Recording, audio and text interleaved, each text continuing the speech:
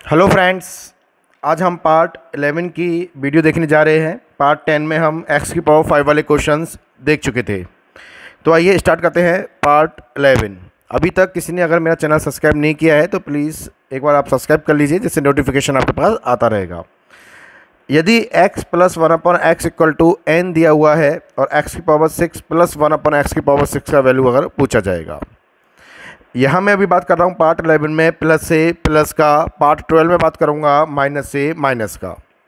तो देखें यदि x plus one upon x equal to n दिया हुआ है देन मेरे को x की power six plus one upon x की पावर सिक्स का वैल्यू फाइंड आउट करना है। तो जैसा कि हमने पार्ट टेन में देखा था, x की पावर फाइव वाले क्वेश्चन के लिए हमने एक्स स्क्वायर का मल्टीप्लाई एक्स क्यूब के साथ किया था।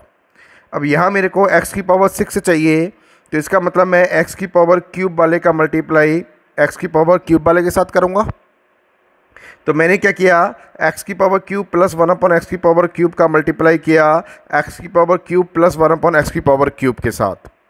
तो यहाँ से मेरे को मिलेगा, इन दोनों का मल्टीप्लाई करूँगा तो एक्स की power six plus one upon x की पावर सिक्स और प्लस क्या मिल जाएगा? टू अलग से मिल जाएगा। अब टू को वहाँ ले जाऊँगा तो एक्स की power six plus one upon x की पावर सिक्स का वैल्यू निकालूँगा। तो x cube plus one upon x cube x cube plus one upon x cube और टू वहाँ जाके क्या हो जाएगा? माइनस का टू तो इस फॉर्मूले को आप सीधा सीधा याद भी रख सकते हो, मैंने आपको निकालना सिखा दिया है। ये बहुत ही इंपॉर्टेंट फॉर्मूला है। अब अपन जानते हैं, यदि x plus one upon x equal to n दिया होता है तो x cube plus one upon x cube का फॉर्मूला होता है n cube minus three n ये मैं आपको पहले करा चुका हूँ। Same x plus one upon x से x cube plus one upon x cube निकालूँगा। तो इसका फॉर्मूला होता है n cube minus three n और माइनस टू आपका चल ही रहा है। अब n cube minus three n two times आ रहा है। तो हम इसको ऐसे लिख सकते हैं क्या? N cube minus three n का होल स्क्वायर और माइनस टू तो आप सीधा सीधा इस फॉर्मूले को याद रखिएगा। विद इन टू सेकेंड में आप अपना आंसर निकाल सकते हो। ये आया कैसे, वो मैंने आपको समझा दिया है।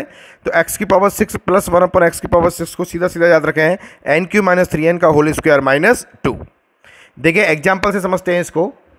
यदि x plus one upon x equal to three दिया हुआ है then find the value of x की power six plus one upon x की पावर सिक्स मेरे को इसकी वैल्यू फाइंड आउट करनी है।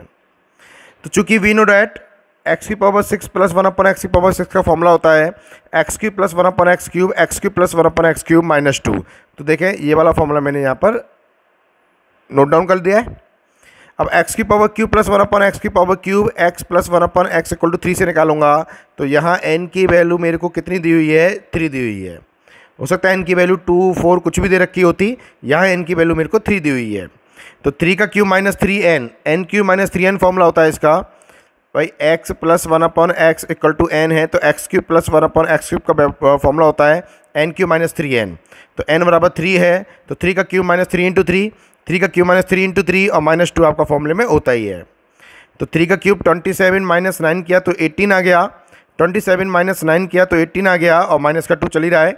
एटीन इंटू एटीन हो गया three twenty four minus two तो आंसर आ जाएगा थ्री ट्वेंटी टू तो एक्स की power six plus one upon x की पावर सिक्स का आंसर क्या आ जाएगा? थ्री ट्वेंटी टू बस आपको दोनों फॉर्मूले याद रखने हैं। ये वाला फॉर्मूला याद है तो आपको ये ऑटोमेटिक फॉर्मूला याद हो जाएगा।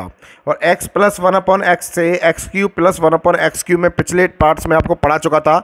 जिन स्टूडेंट्स ने मेरे पिछली वाले पार्ट्स की वीडियो नहीं देखी है तो सबसे पहले आप मेरे पिछले वाले पार्ट की वीडियो देखिएगा। उसका लिंक आपको डिस्क्रिप्शन में प्रोवाइड करा दिया जाएगा। तो आशा करता हूँ ये वीडियो आपको बहुत ही अच्छी लगी होगी। अगर अच्छी लगी है तो ज़्यादा से ज़्यादा आप इसको शेयर करें लाइक करें और चैनल को सब्सक्राइब करें। Thank you